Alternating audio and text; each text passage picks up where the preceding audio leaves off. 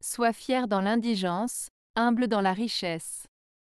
Proverbe français.